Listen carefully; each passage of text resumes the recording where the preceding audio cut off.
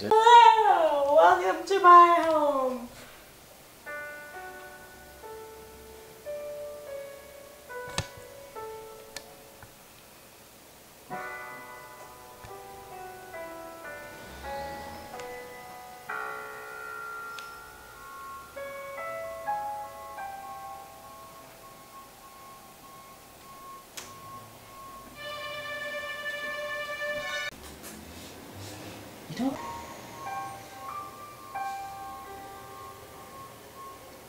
I wish I could just travel all around the country and do like all the bigger recorders, little Yeah. documentaries about them. As if you know how to play. I do know how to play. Oh yeah,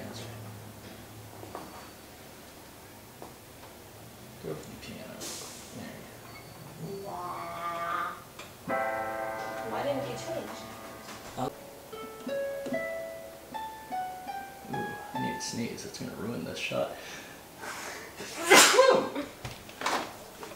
You want me to work with this too? There was a part it needed to edit, so I could just do that right now. however, can only stay with you when the sun, shit.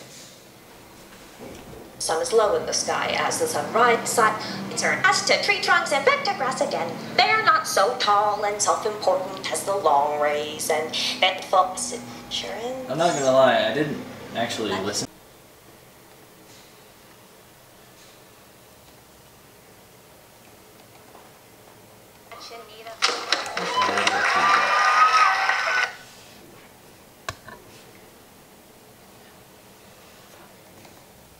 But um, they try to hide their nervous natures. Slowly closer and closer to your feet until at last it is time to slip silent.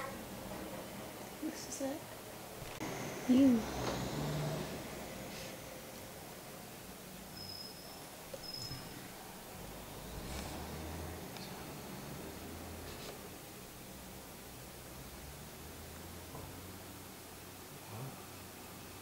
Oh, I have an idea. Okay. I'm gonna come over like this, and when I get over to You here, like you're gonna- this? Yeah, exactly. That's perfect. Look straight into the camera and see everyone. But I can't tell what you're doing though. I You don't know. know when. But that was cool. I'll even show it to you. Okay.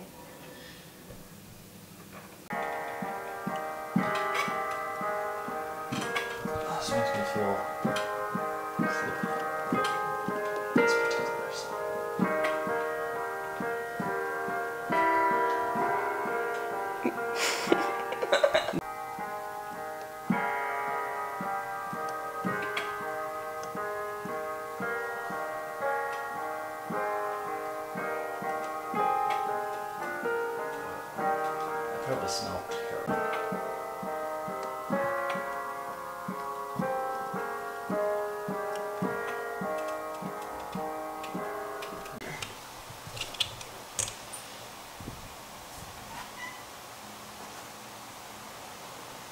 people are gonna think that was have it in the hundred and sixes than in the negative negative sixes. That's what I'm saying. You spill that and then maybe go over to your piano. if you would. Hmm? Go over to your piano.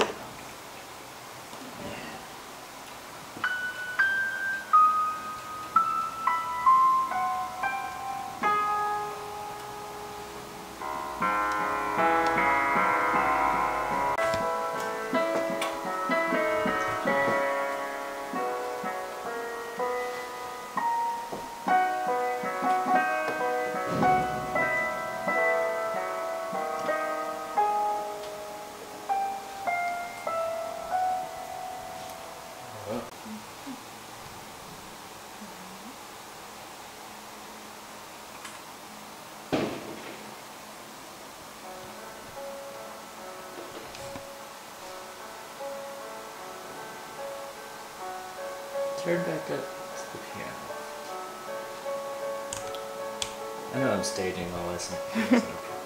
It does feel inappropriate. Do you want me to mess with some settings on here? yeah, sure. Mess with those. Settings, sure. That wouldn't be good.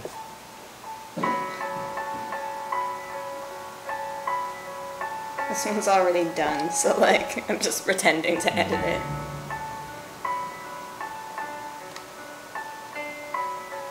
Change the color of it. People are be like, my God, she loves Johnny Depp.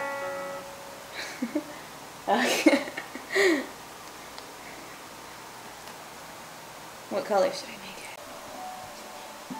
Look uh, over here, so. A down. Yeah, like that. I never look there when I'm like. I know. But the flowers and the right focus, it will look. You'll see. Yeah.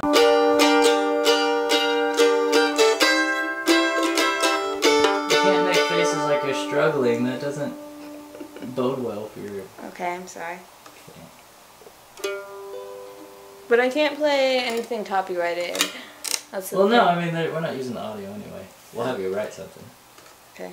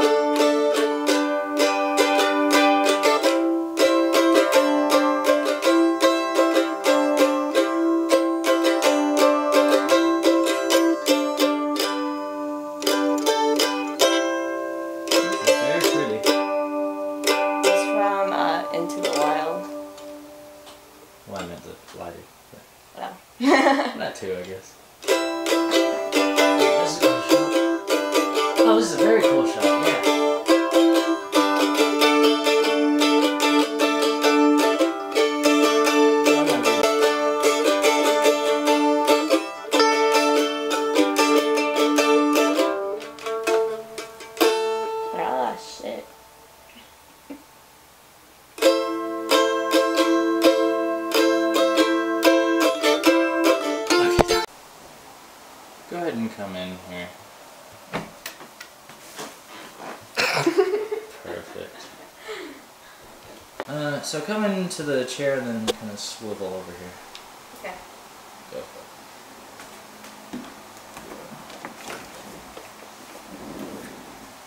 Frame it. stuff? Yeah. No, okay. Yeah. Yay. I'm messing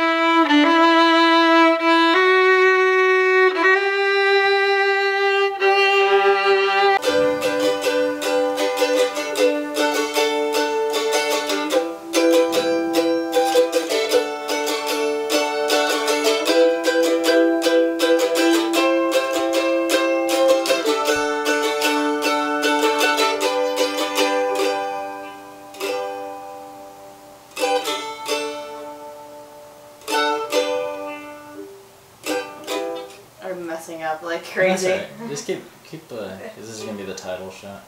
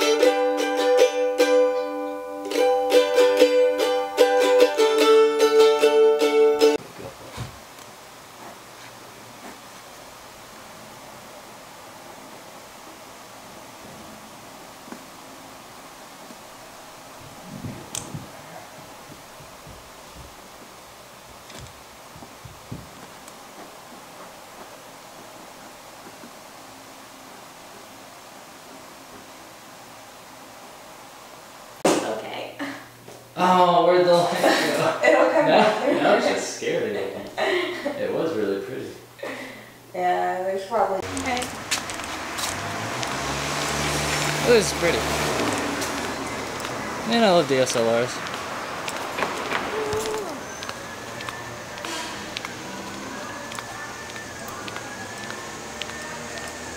Okay, and before we leave the trees. You want me to look at you or not?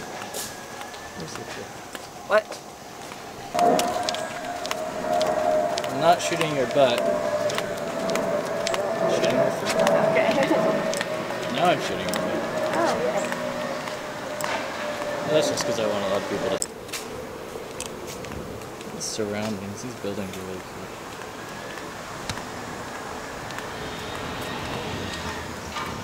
Let's see. Maybe we can talk about your surroundings in the thing and Huh? Um, talk about your surroundings in the voiceover or something. And the old architecture, you know, something. Yeah. Just be like, these houses are really old. And they're pretty, so I make pretty music. I want that balloon.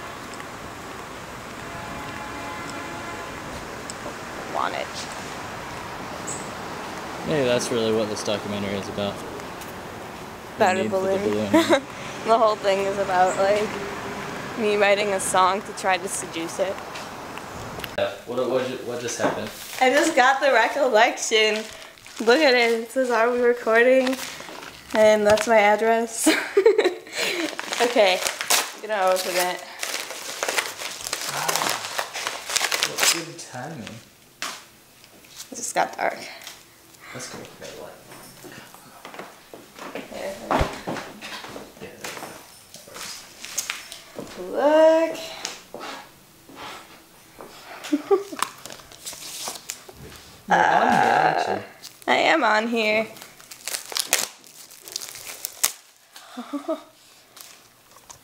Oh, it's so pretty.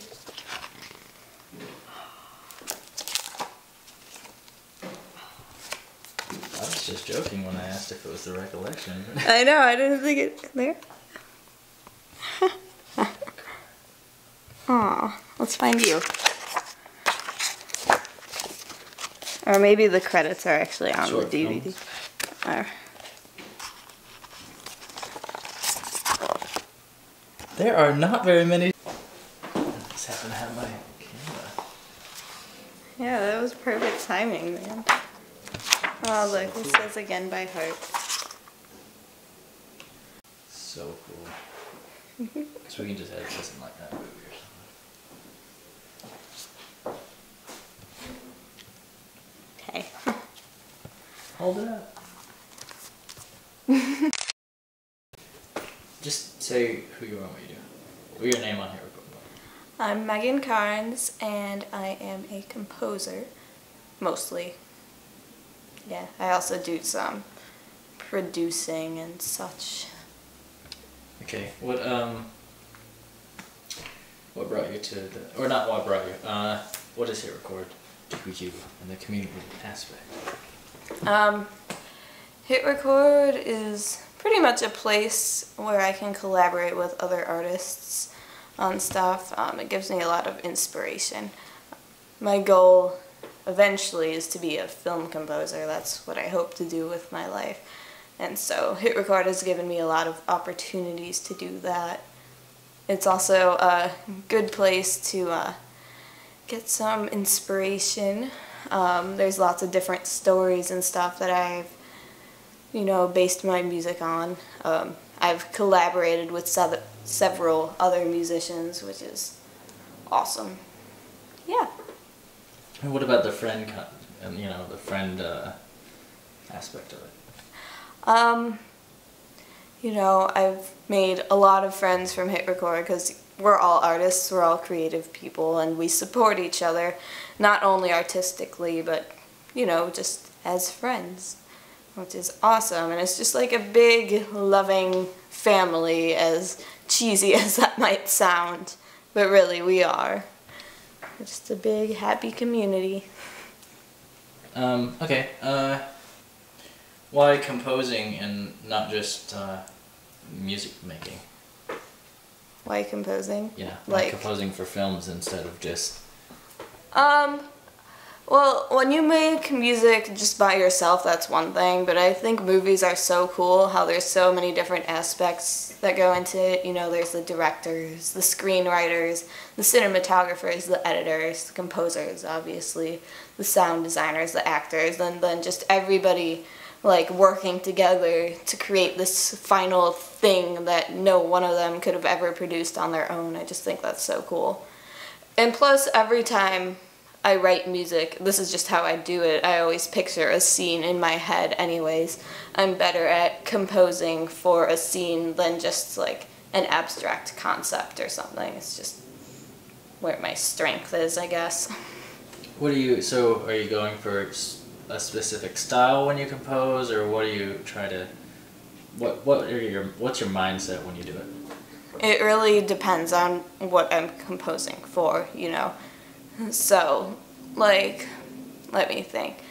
For example, when I did the intro music for Fade In, I was more, you know, going for like a really mysterious type vibe. Like, cool, mysterious, kind of fantasy esque.